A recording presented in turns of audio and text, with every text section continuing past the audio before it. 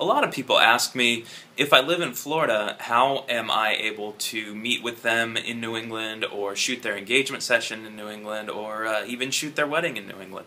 Um, and the truth is, I am from Connecticut originally and um, I've got family in Connecticut, I have family in Massachusetts.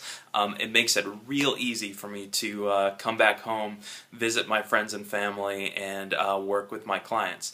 Um, I travel um, up north uh, multiple times throughout the year, uh, six or eight times a year, um, and I often stay for a couple weeks at a time. Um, and uh, during during my trips, I'm able to meet with clients, um, shoot engagement sessions, and of course shoot their weddings.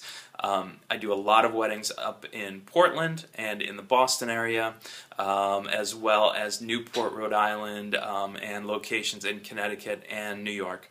Um, and um, for many of the locations I travel to, I don't charge any travel fee at all.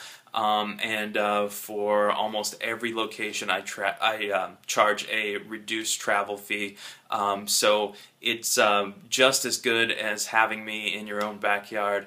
Um, if for some reason we can't connect in person for a meeting, we can always connect over the phone or through Skype, and uh, I make things real easy as far as uh, meeting my clients and staying in touch with them.